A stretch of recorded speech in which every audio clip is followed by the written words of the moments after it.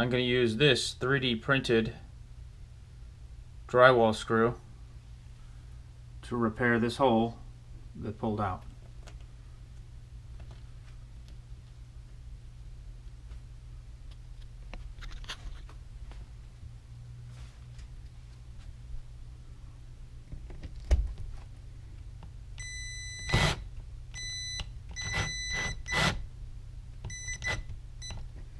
There you go, screwed in real nice. See, that was the original type of molly used, and uh, worked okay, but that worked much better. As you can see, it went in nicely.